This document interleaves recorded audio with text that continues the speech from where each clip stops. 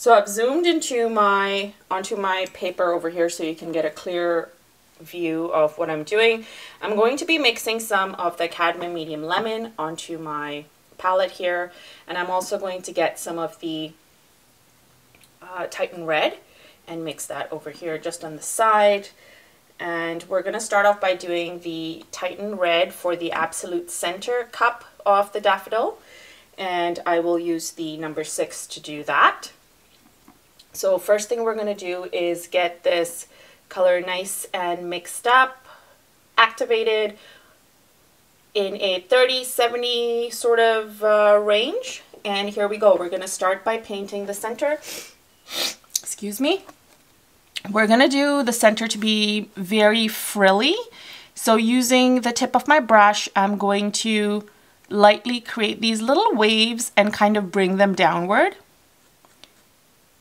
in a circular sort of format. In fact, if it kind of helps to do the little waves, like do a wavy circle and then go in and do that detail, that might be a little easier on you as opposed to doing individual sections and trying to get that center. So what I'm doing from, from there after we've done our circle is just kind of lightly pulling down the color from the little wavy section that we've done, pulling it down inward, allowing some white space to sort of be there if it's needed. all right, so getting that all the way across and around. And then taking my number eight, I'm going to get a little bit of the lemon, making sure that I don't have too much water on my brush. And I'm just going to pull this downward into the center some more.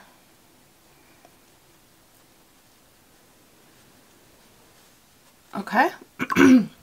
now once we've done that, we're going to go right away and get more of the lemon and we're going to do our outer petals.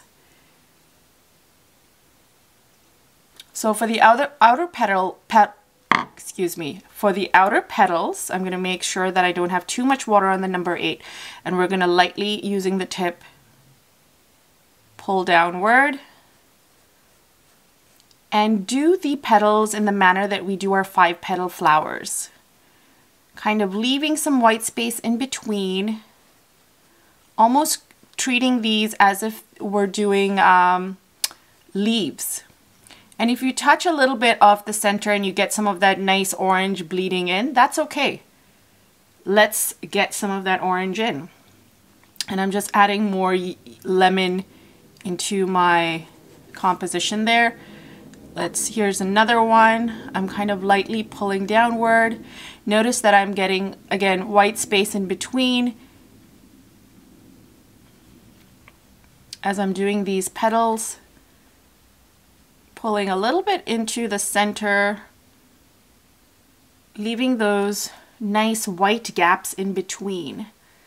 All right, so let's do another one over here. Because remember, this is a very loose style of daffodils, and we want to keep it as minimalistic as possible, but at the same time also make it quite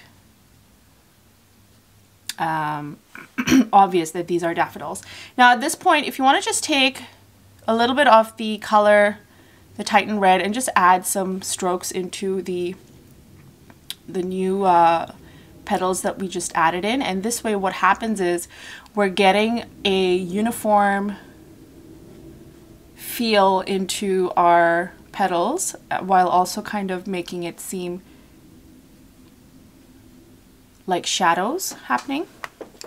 So we've got three, we've got two more to do. And let's do one here.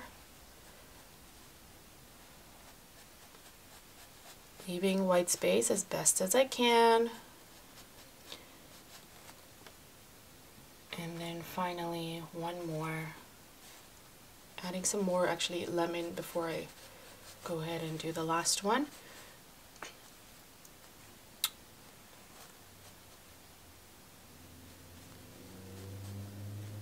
Here we go. we've done our last one.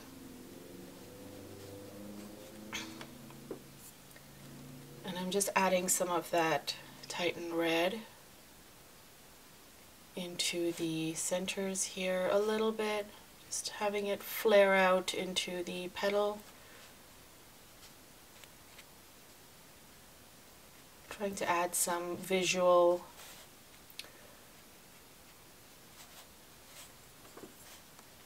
shadow effects by adding this into the lemon. And now once we've done this, let me just finish doing this. Okay, perfect. So we've, we've got our main daffodil. We can now move on and let's just do a side daffodil just so you guys can see what that looks like before we go back in and just fix the center. Before we do the side daffodil, I've realized that it's just like the perfect amount of dampness. So we're just going to go in quickly and just add a little bit more of these curves, frills into the center here so we can get a nice gradient effect because what's happened is the lemons kind of seeped out and made the edges a lot lighter. So we're going back and making the edges darker so that it really pops out some more. And then finally just adding a little bit of like a couple of dabs onto that area just to make sure that the color is intensified before we move on to add uh, to our next daffodil. Excuse me. Perfect. So now our next daffodil, same sort of idea. However, this one is going to be sideways or slightly off to the side. And so instead of the round circle, we're going for a for an oval shape. And so here's that oval.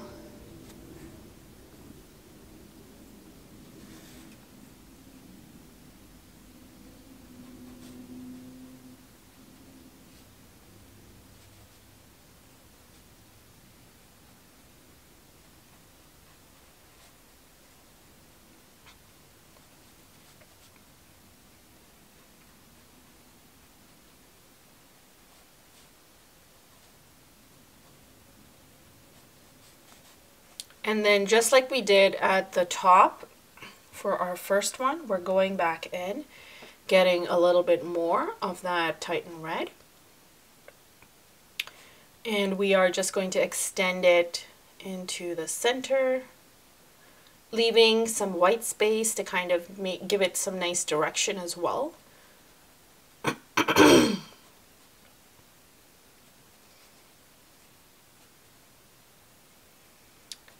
And I'm not going to add any of the lemon like we did over there. What I will do is possibly just go in and add a couple of dabs just to kind of have some sort of indication of lemon. So slightly different from what we did at the top. And now we're moving in right into the petals. So I'm getting more of that cadmium medium lemon. I have it mixed up here.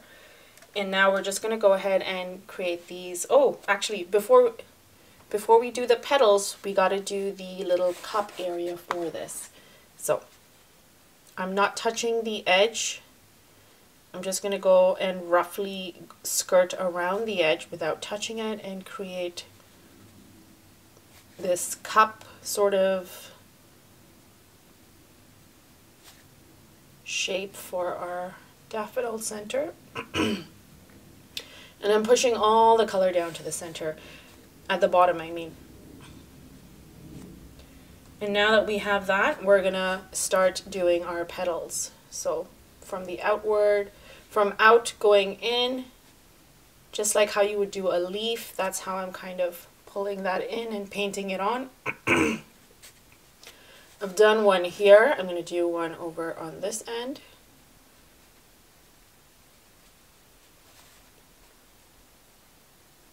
Remember the white space in between so you can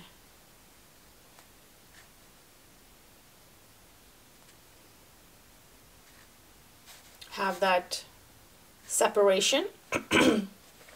Here's one more.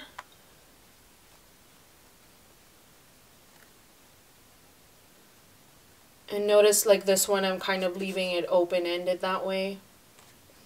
And then finally, for this last one, I'm just taking a little bit of water on my brush to make this one lighter and kind of just off in the background. Perfect. Now that, that I have that, what I will do is just take whatever leftover color I have on my number six and I'm just adding a couple of strokes in here where it touches the uh, the petals and then I'm also going to add a couple of strokes into the petals themselves and kind of give it um, some flow by putting it or moving it in the direction of how the petal has been painted.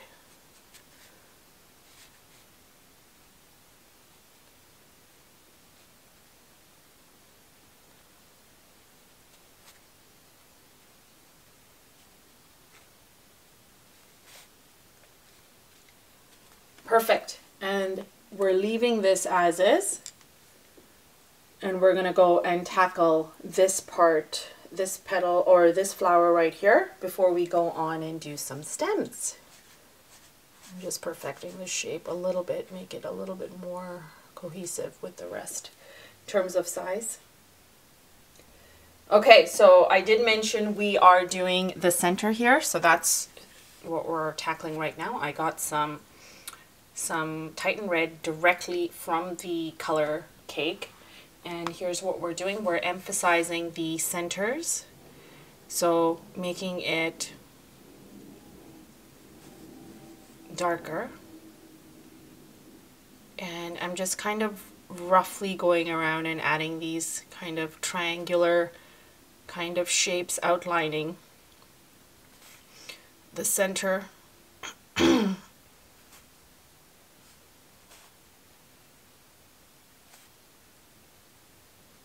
outlining and then also kind of adding some added detail to the center by just kind of extending down so it goes on the inside and you can see that it's clearly going in.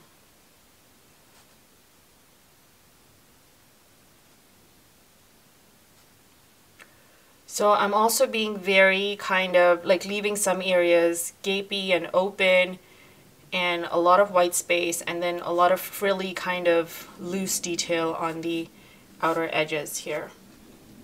So a little more detail involved there. And just using the tip of my brush, I'm kind of just adding a couple of lines, strokes that are just going inside. Okay, same thing I'm going to do here since it's dried up.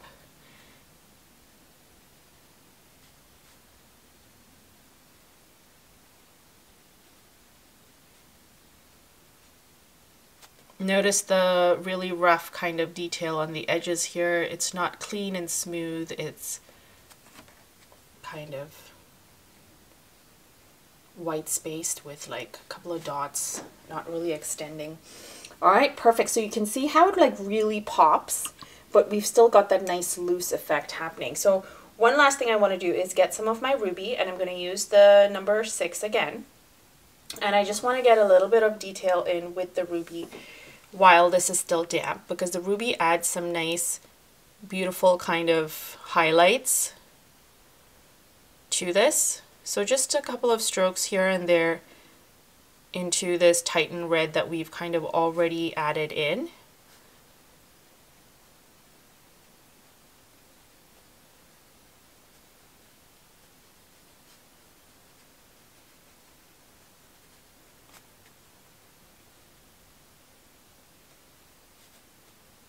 And trust me, it just, we don't want to add the ruby all over the place willy-nilly, but just adding a couple of strokes of this just really makes the whole flower pop like so much more.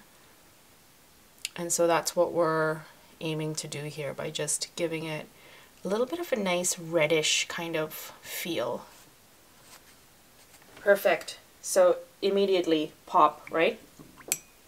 And if you want to highlight or give more of a shadowy effect to your to your outer petals there, what I would suggest is just taking taking a miniature brush, something like the, something like this right here, the round 2.2 slash O miniature brush and just getting some of that Titan red and just doing some lines in there.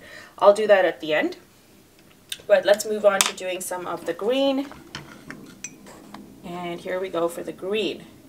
I'm mixing my emerald and I'm mixing my umber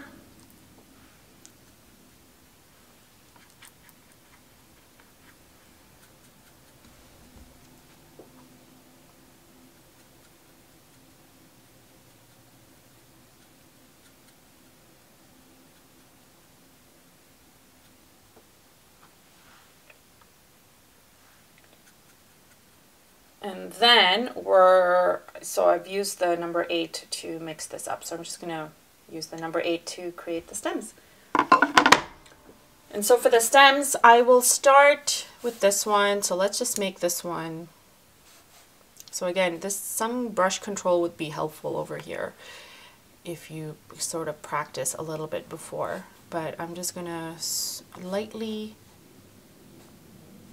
slant my brush and kind of paint my stem in.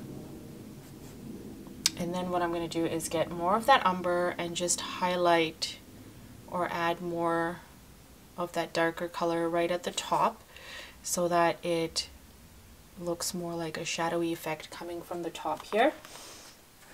And then we're going right away and doing the next one. This is going to be a short, short stem, obviously, but that's okay.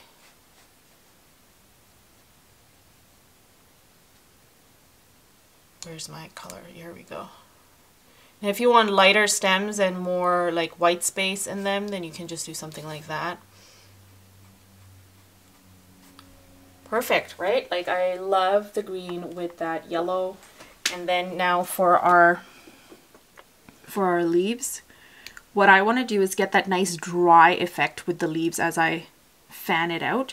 So what I'm going to do is just get some color directly from my color cake I just realized because it's two a mixture of two colors, if I just sort of went without mixing it on the palette, it might end up being a different color, but that's okay. Well, let's just try it. So I'm going to give a little bit of a curve here and then pressing down. There we go. So here's one. And I really like that edge over there that we have for it. Chose to do that just to get more of that white space in there. And then I'll do another one from the outside in. This one isn't as dry as that one, but that's okay. And then let's do one more for our little guy over here. But I just feel like maybe it's easier if we just do another stem looking element there. Something like that because I don't want to do another flower but maybe this could just look like it's coming from the stem here and it's somehow longer than the flower itself.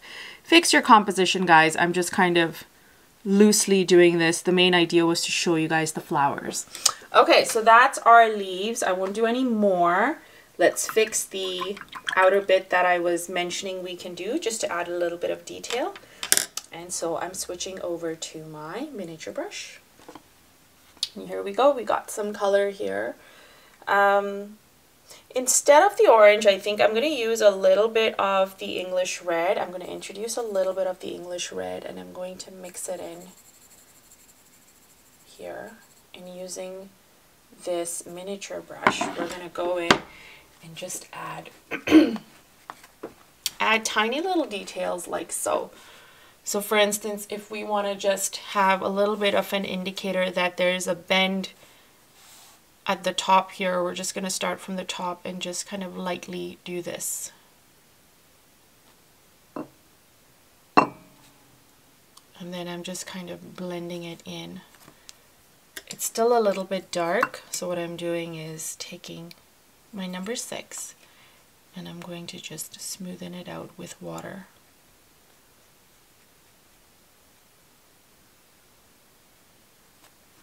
And just like that, we have a little bit of a bend or a curve on that petal. So you can sort of add details like that in certain areas in your petal. Petals and flower. And it really enhances the whole look. But we're still keeping it loose.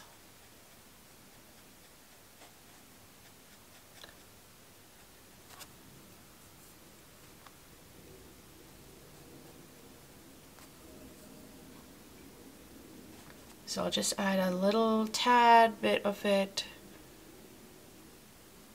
over on this one here. That looks like the perfect bend. Maybe a little bit at the top as well.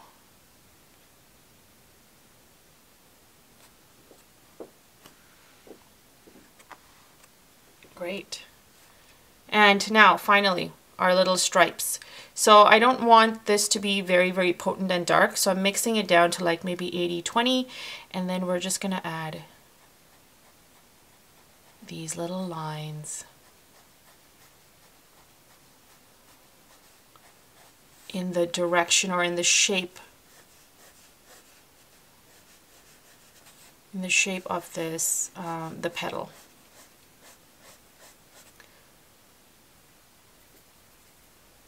So again, I'm getting just a tad bit of this with a lot of water and then I'm just grazing grazing the sheet.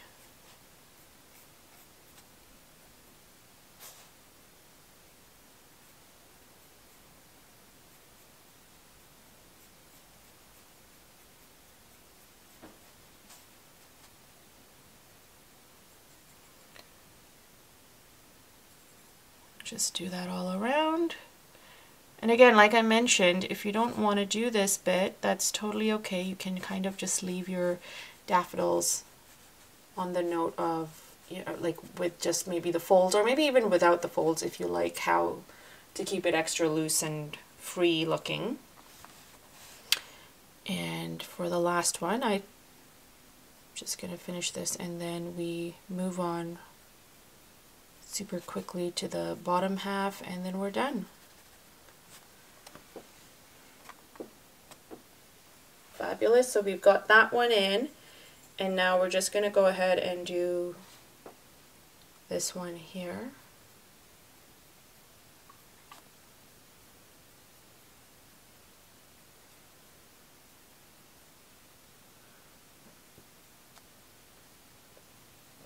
I'm literally just grazing.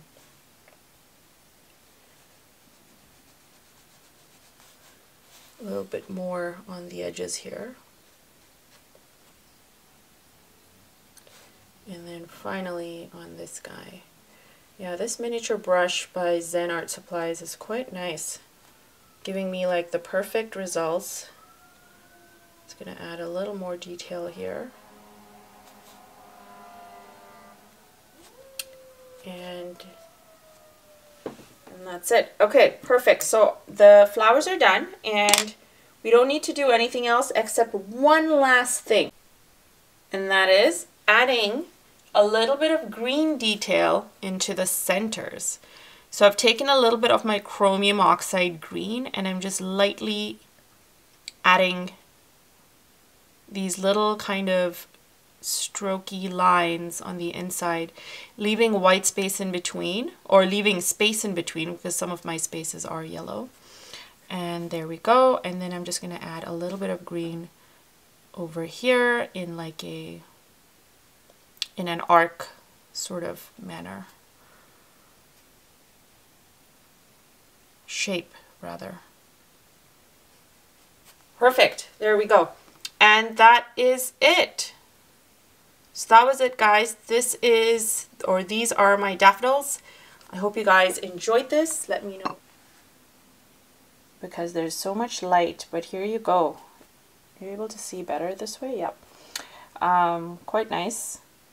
The white space really does add quite a bit of uh, detail to it. So do the fine lines and the including of the red or the ruby uh, makes it really pop. So I think I'm going to do a third one. And I hope you guys try this. Please do tag me on social media, Facebook or Instagram. I love seeing your work and I love seeing how you guys are progressing. And uh, if you like this video, please hit that like button and also consider subscribing because I've got a ton of other videos of the floral nature for you to explore. So thanks guys for watching and we will chat soon. Bye!